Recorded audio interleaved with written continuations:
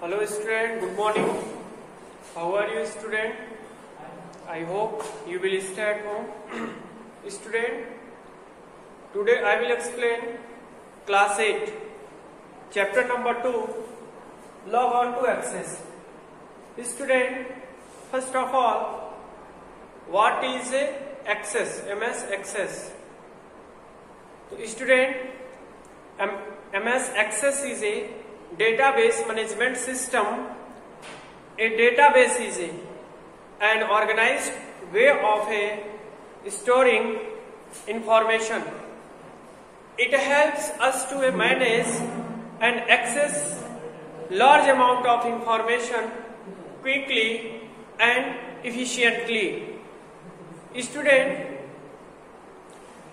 DBMS होता क्या है DBMS means database management system student M S Access जो है माइक्रोसॉफ्ट एक्सेस जो है, इसमें हम रिकॉर्ड अपना बनाते हैं।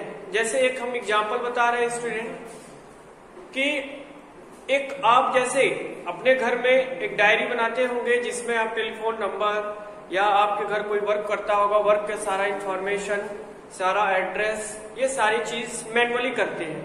तो स्टूडेंट मैनुअली रिकॉर्ड में बहुत ज़्यादा टाइम भी लगती है और इसकी जो सॉर्टिंग करनी होती है तो बहुत प्रॉब्लम होती है। तो स्टूडेंट जब हम इसको कंप्यूटर में एमएस एक्सेस के डीबीएमएस के द्वारा करते हैं तो इसमें हमें बहुत आसान होता है। जैसे एक एग्ज़ाम्पल के तौर पे अगर आप हमारे स्कूल में आते हैं तो फ़ीस जमा करते हैं। फ़र्स्ट ऑफ़ ऑल हम आपकी सारी रिकॉर्ड जो है फ़ीड करते हैं। फ़ीड करने के बाद फिर स्टूडेंट आपकी सारी इंफॉर्मेशन जो है हम सॉर्टिंग कर लेते हैं। जैसे आप आते हैं तो फिर हमको अपना मैनुअली रिकॉर्ड नहीं चेक करना होता। हम आपके एक यूनिक कोड से, या आपके नेम से, या फादर नेम से, या रोल नंबर से, या क्लास से, हम सॉर्टिंग उसकी कर लेते हैं स्टूडेंट तो इसी तरीके से ये हमारा जो है, बहुत इजी होता है अकॉर्डिंग टू मैनुअली मैनुअली जो है कि उसमें हम अपना लिखते हैं टाइम भी ज़्यादा हम लोग का लॉस होता है प्लस हमको जब सॉर्टिंग करनी होती है तो प्रॉब्लम होता है।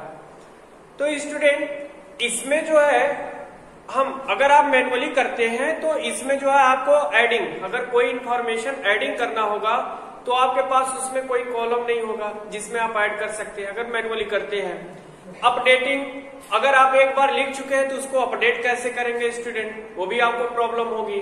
फिर इसके बाद स्टूडेंट सॉर्टिंग किसी की रिकॉर्ड को सॉर्ट करना है फाइंड आउट करना है तो भी आपको प्रॉब्लम होगी स्टूडेंट एडिटिंग किसी में बाई कुछ मिस्टेक हो गया, उसको एडिट करना है तो भी प्रॉब्लम होगी. इसके बाद आपको डिलीट करना है उस रिकॉर्ड को तो इस रिकॉर्ड को डिलीट करेंगे तो भी आपको उसमें जो है आपको मैनुअली में प्रॉब्लम होगा, क्योंकि वहाँ पे उस उस रिकॉर्ड को आप ना कुछ ना कुछ तो करेंगे. तो ऐसे बहुत सारी चीज़ है स्टूडेंट जो आप मैनुअली में प्रॉब्लम होती है।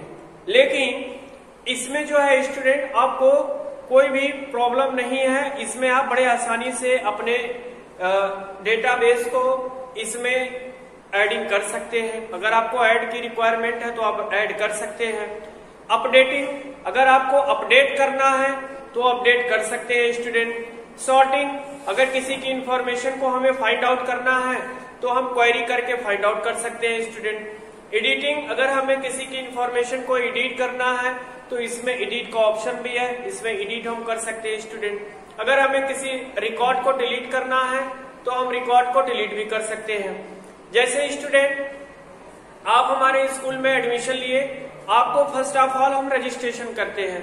रजिस्ट्रेशन करते हैं तो उसमें हम आपका ऐड करते हैं सारी इंफॉर्मेशन नेम फादर नेम उसके बाद आपका एड्रेस फिर इसके बाद आपने किस क्लास को क्वालिफाई किया, ये सारी इंफॉर्मेशन हम उसमें ऐड करते हैं। ऐड करने के बाद जब आप वन ईयर जब हमारे स्कूल में कंटिन्यू करने के बाद जब आपको नेक्स्ट सेशन में आपको जाना होता है तो हम अपने, फिर आपका हम सेकंड में उसमें जो है ऐड फिर से आपका एडमिशन नहीं करते उसी को हम अपडेट कर देते हैं। आपको अगले में प्रमोट कर देते हैं स्टूडेंट इसके बाद स्टूडेंट सॉर्टिंग करना होता है। जैसे आपने आया हमारे पास, सर, मेरा, आपको तो कार्ड अपना भूल गए, अपना नेम से बच्चे का नाम है। सर, ये बच्चे का नेम है और ये क्लास है। मैं उसी के द्वारा उसको सॉर्टिंग कर लेता हूँ फाइंड आउट कर लेता हूँ स्टूडेंट इसके बाद स्टूडेंट एडिट करना हो। बाई किसी का नाम नेम में मिस्टेक है। या किसी का फ़ोन नंबर चेंज हो गया, या किसी का एड्रेस चेंज कराना है, या ट्रांसपोर्ट जैसे बस का ट्रांसपोर्ट अब आपको लेना है या नहीं लेना है ट्रांसपोर्ट फैसिलिटी तो ये सारी इंफॉर्मेशन जो है, हम उसमें जो है एडिट करते हैं, या उसमें फिर हम, अगर आपका मिस्टेक है तो उसमें फिर से हम एडिट करके फिर से उसको करेक्ट करते हैं। इफ़ अगर आपने स्टूडेंट ये अगर कोई बच्चा आया जिसने अपना एडमिशन लिया वन ईयर तक हमारे स्कूल में पढ़ा, फिर इसके बाद अगर वो हमारे पास नेक्स्ट सेशन में नहीं एडमिशन किया तो नेक्स्ट सेशन में हम उसके रिकॉर्ड को डिलीट कर देते हैं, लेकिन हमारा जिस सेशन में पढ़ा रहता, वो रिकॉर्ड उसके हमारे पास रहता है स्टूडेंट तो ये सारी जो है इंफॉर्मेशन जो है, ये हम इसी के माध्यम से करते हैं.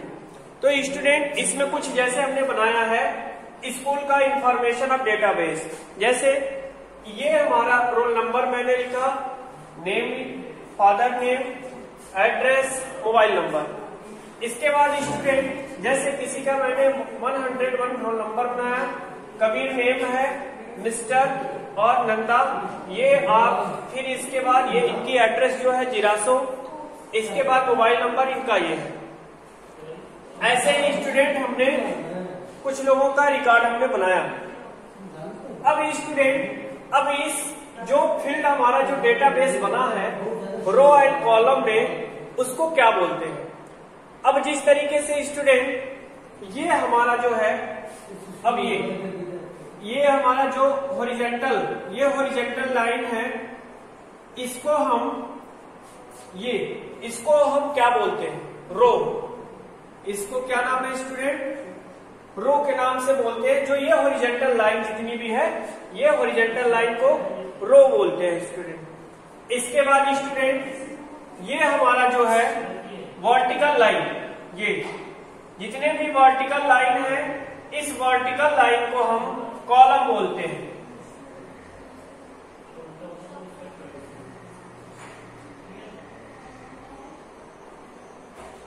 इसको हम क्या बोलते हैं? कॉलम बोलते हैं.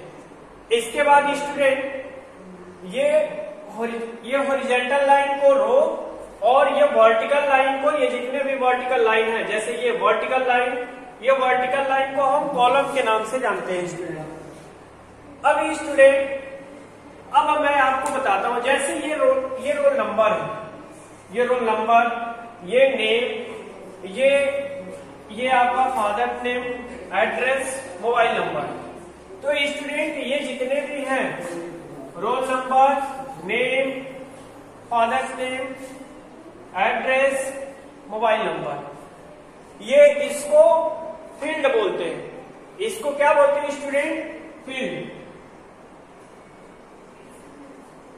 अब जैसे फील्ड्स इसको इस वजह से बोलते हैं स्टूडेंट क्योंकि फील्ड्स फील्ड्स की जो डिफिनेशन है a field is a one type of information one type of information is known as a field. A database is a one type of information is known as a field.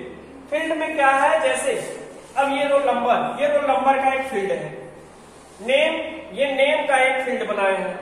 एक type का जो information है। ये father's name ये एक type का information है। सब मतलब एक लाइन से ही फादर्स नेम है। इसके बाद एड्रेस ये वन टाइप का इंफॉर्मेशन है। ये मोबाइल नंबर ये वन टाइप का वन टाइप ऑफ़ इंफॉर्मेशन है। तो स्टूडेंट ये जितना भी ये कॉलम बना है कॉलम की जो इंफॉर्मेशन हमने इसमें फिलअप किया है, ये इसको हम क्या बोलते हैं? फ़ील्ड बोलते हैं। अब फ़ील्ड के बाद, अब जैसे इसमें जो है, अब फ़ील्ड के बाद आता है सेकेंड रिकॉर्ड रिकॉर्ड को, अब record is a collection of field collection of field is known as a record एक, हम फ़ील्ड को कलेक्शन करके और एक रिकॉर्ड बनाते हैं। जैसे इसमें रोल नंबर फ़ील्ड को मैंने लिया, नेम फ़ील्ड को, फादर नेम को, एड्रेस को, मोबाइल नंबर को, एक फ़ील्ड को लेकर के और एक रिकॉर्ड बना, जो रिकॉर्ड हमारा एक बना जैसे स्कूल इंफॉर्मेशन डेटाबेस मैंने बनाया स्टूडेंट अब ये स्टूडेंट आपका ये फ़ील्ड हुआ, ये इसको कॉलम बोलते हैं और ये इधर लाइन को ओरिजेंटल लाइन बोलते हैं। इसके बाद स्टूडेंट आपको हम अपना कंप्यूटर लैब में हम वीडियो एक बनाएँगे।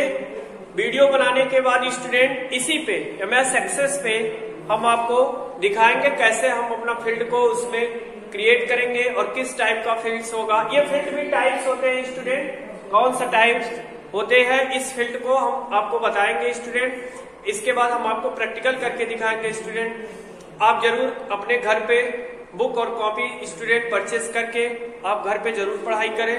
अगर आपके पास बुक्स अवेलेबल नहीं है तो हमारे स्कूल में आप ज़रूर कांटेक्ट करें। हम आपको प्रोवाइड कराएँगे स्टूडेंट इसके बाद आप स्टूडेंट अपने घर पे बैठ के पढ़ाई करें। जब तक लॉकडाउन है स्टूडेंट इसके बाद आपको जल्द ही हम आप लोगों से मिलेंगे स्टूडेंट जैसे ही लॉकडाउन खत्म होता है स्टूडेंट आपको कोई भी क्वेरी हो स्टूडेंट किसी भी इंफॉर्मेशन में, आप हमारे स्कूल ऑफ़िस नंबर पे या प्रिंसिपल मैम नंबर पे आप कॉल कर सकते हैं स्टूडेंट तो so student thank you student